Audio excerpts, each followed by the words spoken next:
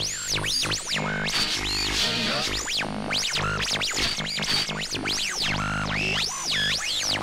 you.